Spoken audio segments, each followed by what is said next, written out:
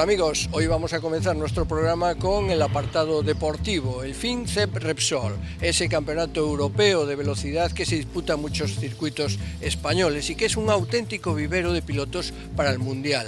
Esta vez se celebró en Motorland Aragón, que acogió un auténtico vivero de campeones para el Mundial en las categorías de Moto 3, Moto 2 y también Superbike. Desde hace 20 años, desde la factoría viguesa de PSA, sale un hito mundial del automovilismo. Se llama Citroën Berlingo. Lo que nació como una simple furgoneta se ha convertido al final en un vehículo de recreo y familiar.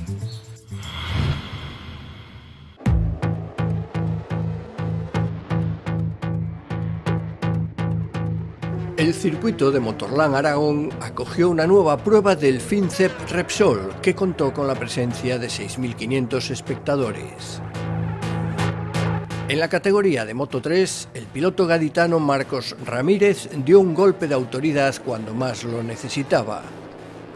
El líder de Moto 3 había perdido fuerza en la última carrera de Le Mans, donde se quedó fuera del podium pero un Motorland volvió a lo más alto del cajón, acompañado por Alonso López y Lorenzo Dallaporta, segundo y tercero respectivamente.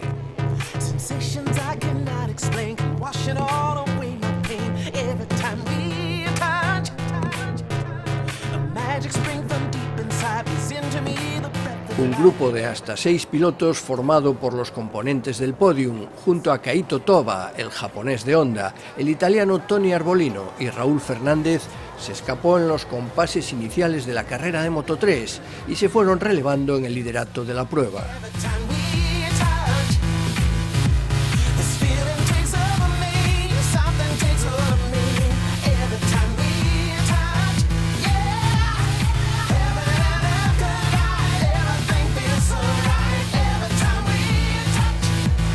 A falta de dos vueltas para el final, Marcos Ramírez realizó un cambio de ritmo para romper el grupo y cruzar la meta en solitario con más de un segundo de ventaja sobre Alonso y Lorenzo Dallaporta.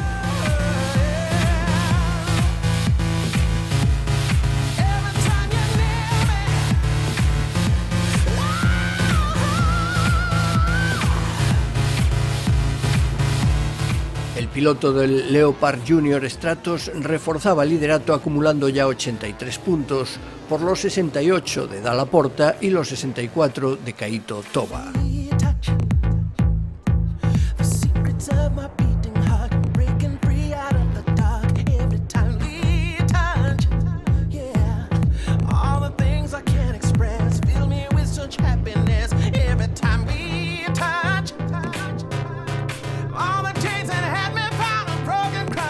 En Moto 2, el sudafricano Steven Odendal dejó patente su momento dulce al imponerse en la primera carrera que estuvo marcada por la lucha en la cabeza entre el sudafricano, el japonés Nagashima, el francés Alan Techer y Augusto Fernández. Remy Garner, el piloto australiano que salía segundo, sufrió una caída en los compases iniciales de la carrera.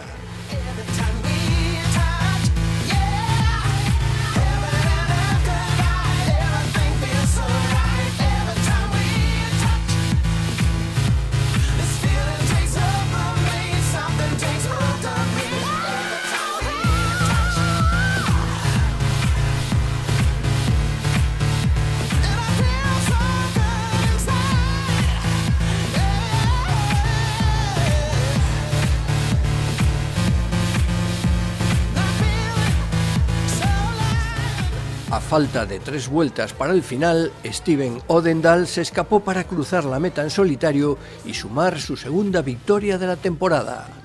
Por detrás llegaban Nagashima y Teche.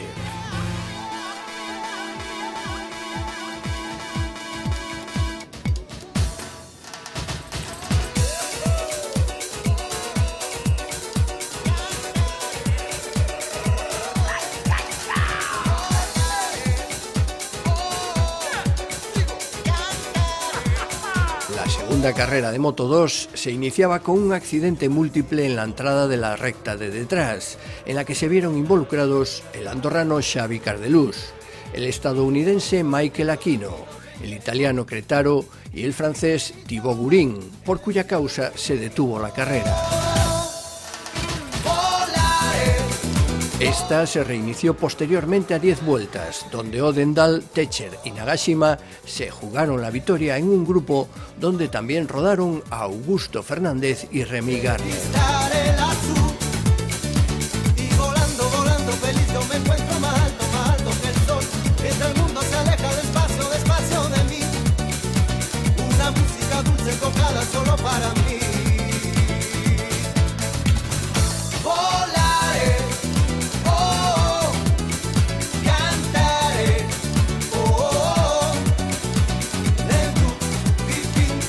Finalmente, el piloto sudafricano firmó el doblete seguido de Alan Techer y Netsuta Nagashima, resultado que lo hace más líder de Moto 2.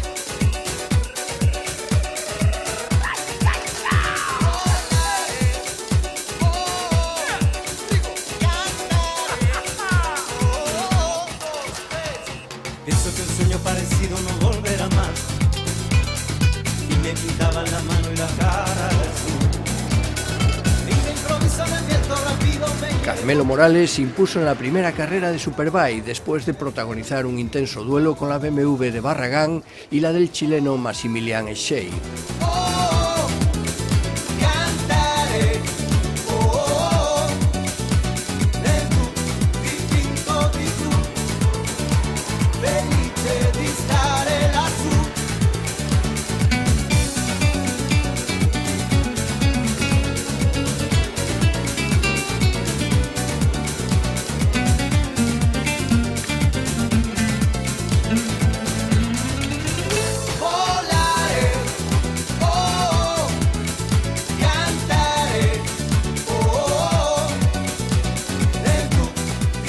Shea. chileno del Targobank lideró parte de la carrera, aunque después, con el paso de las vueltas, se fueron dando el relevo entre ellos. Shape se iba largo en una curva y Carmelo Morales y Santiago Barragán se quedaban solos. Pienso que un sueño parecido no volverá más. Y me pintaban la mano y la cara de azul. Y de improviso en el viento rápido me llevo.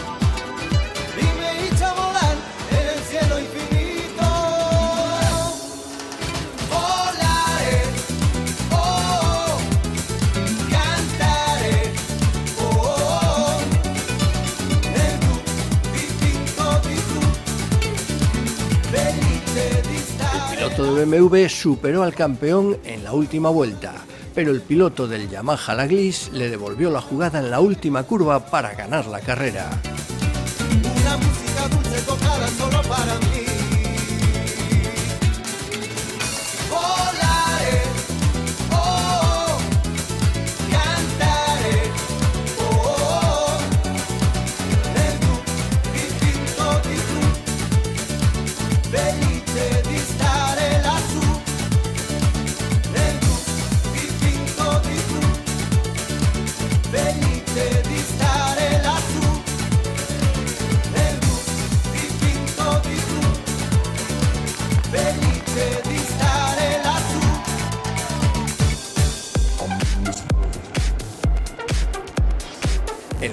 Manga de Superbike, Carmelo Morales y Maximilian Shape aprovechaban un problema de Santiago Barragán en los compases iniciales para escaparse en solitario.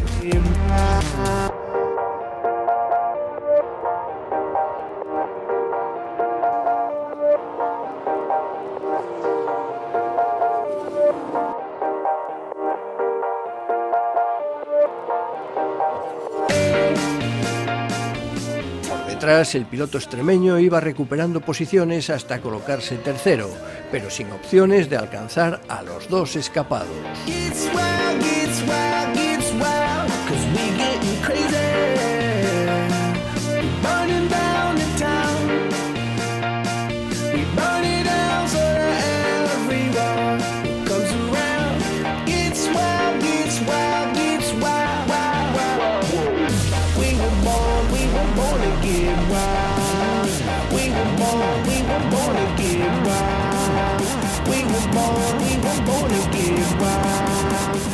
Carmelo Morales y Shape se jugaron la victoria en una trepidante última vuelta, donde el piloto español hizo valer la experiencia para superar al chileno y sumar la segunda victoria del día.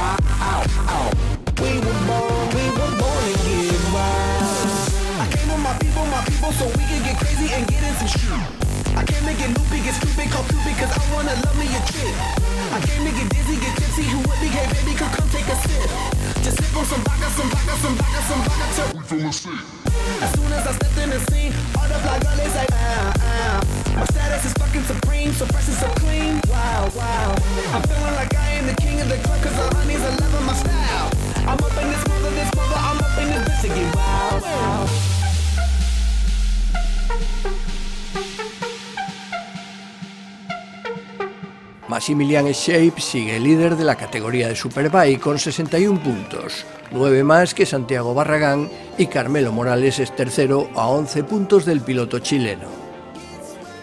La próxima prueba del FinCEP Repsol tendrá lugar en el circuito de Barcelona los días 11 y 12 de junio.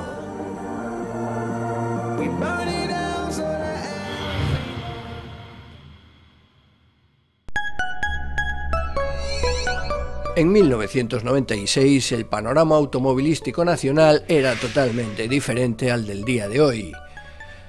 Entre las furgonetas de reparto, la indiscutible reina era la Citroën C15, una indestructible furgoneta que, como todas las de aquella época, en realidad era una derivada de un turismo, el Visa, al cual se le añadió una caja detrás. Por eso, cuando en otoño de 1996 en el Salón de París se presentó el nuevo Citroën Berlingo, creado desde el principio como furgoneta, se dio un paso adelante en el futuro de este tipo de vehículos.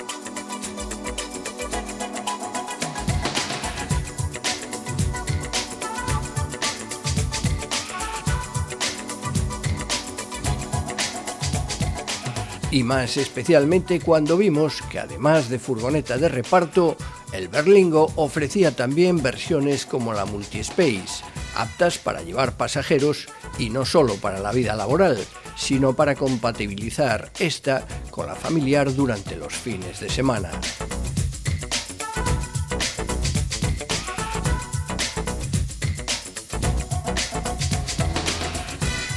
Berlingo hizo olvidar pronto a la C15 porque ofrecía más comodidad, modularidad y equipamiento, algo que hasta entonces se despreciaban estos vehículos. En el 2002 llegaba la primera renovación del Berlingo, incorporando, por ejemplo, novedades inéditas en ese segmento, como el cierre automático de puertas, los limpiaparabrisas automáticos o el encendido de luces una vez sacada la llave de contacto.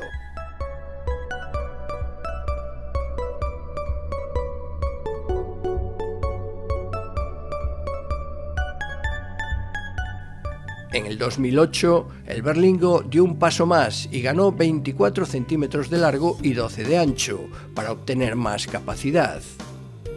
Al mismo tiempo heredó los ejes y suspensiones del C4 Picasso, que lo dotaron de mayor estabilidad y mayor confort, además de añadir ABS y SP en los sistemas de seguridad, así como cuatro airbags.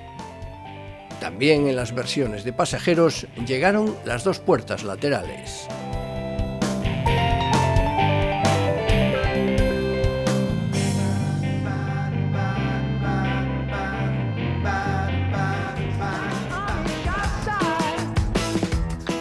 Las siguientes versiones fueron en 2012 y 2015 hasta tener la configuración actual, en la que no faltan detalles como las luces diurnas LED o la pantalla táctil de 7 pulgadas para disponer de teléfono manos libres o de navegación.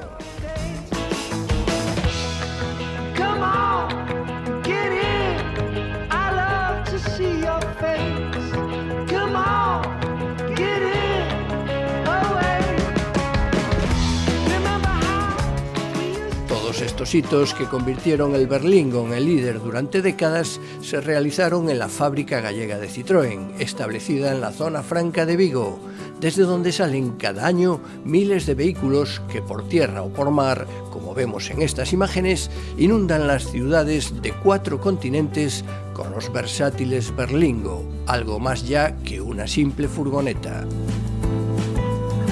Ahora, en su 20 aniversario, celebrado con una edición especial, Citroën ya está definiendo cómo será el Berlingo del futuro. Pero eso es algo que descubriremos en 2018.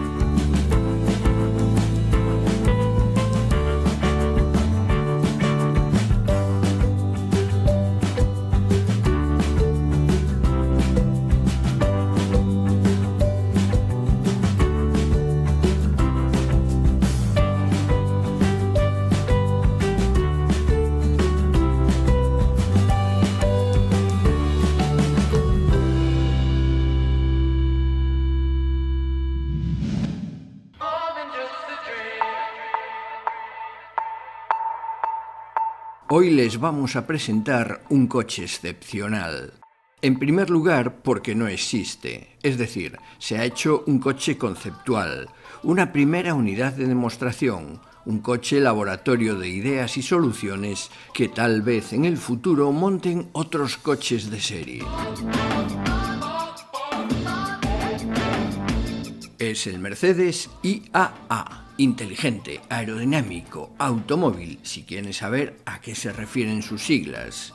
Y con él Mercedes ha querido demostrar que se pueden batir las marcas en aerodinámica, como prueba un coeficiente de 0,19 a pesar de ser un coupé de cuatro puertas.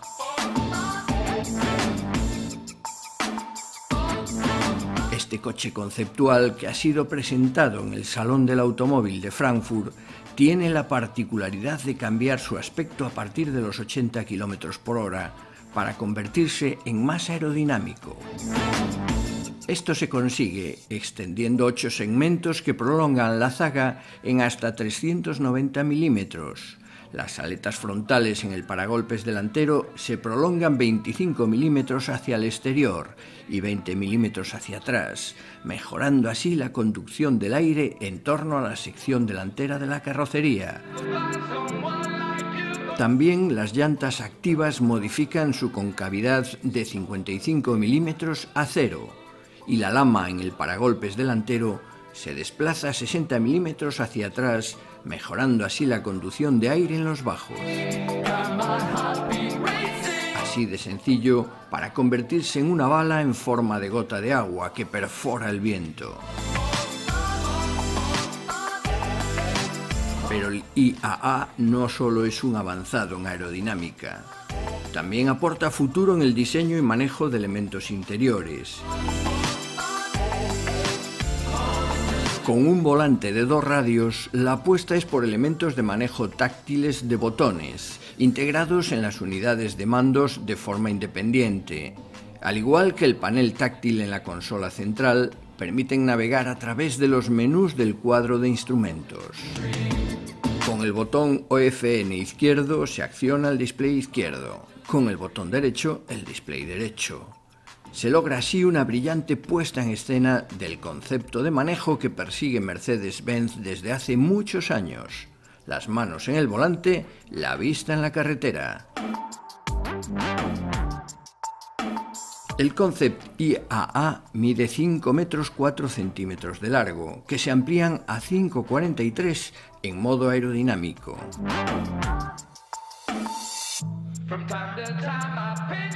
El Concept Car dispone de una propulsión híbrida enchufable con motor de gasolina y motor eléctrico, con una potencia total de 279 caballos. Esto le permite alcanzar una velocidad máxima de 250 km por hora, limitada electrónicamente.